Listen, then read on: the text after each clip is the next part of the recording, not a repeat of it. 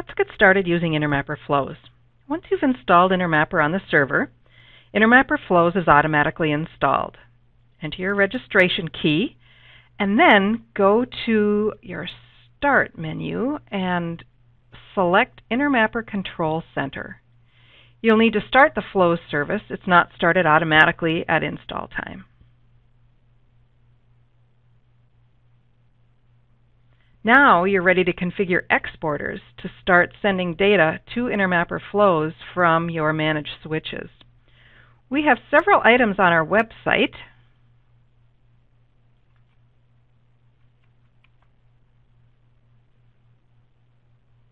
that link to configuration instructions for flows.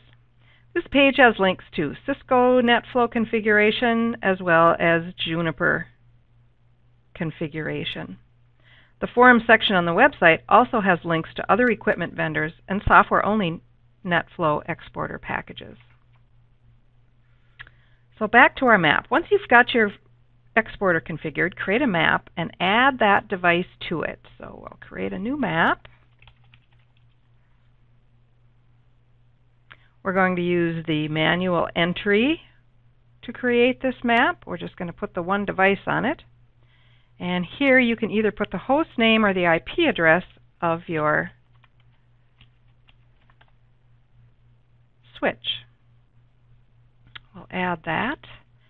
And now Intermapper will go out using its automatic probe, find that IP address and find that device and put it on the map.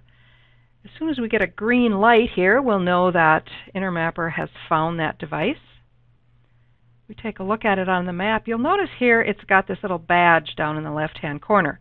That's an indication that there is an exporter installed on that device.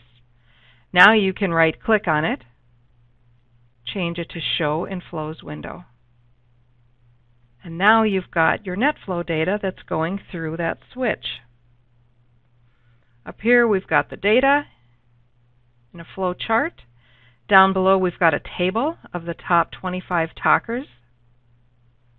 You can also look at the top ports that are being used and the top sessions that are kept in our database.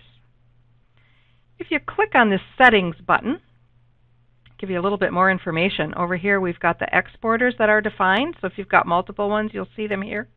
Here's where you can enable or disable those switches. Um, also under Advanced, when Intermapper creates a database for Intermapper flows, it will create a 10 gig database. So here's where you can change that if that's something that you want to do. So that's kind of it. Intermapper flows is up and running. Uh, hopefully it was a painless install.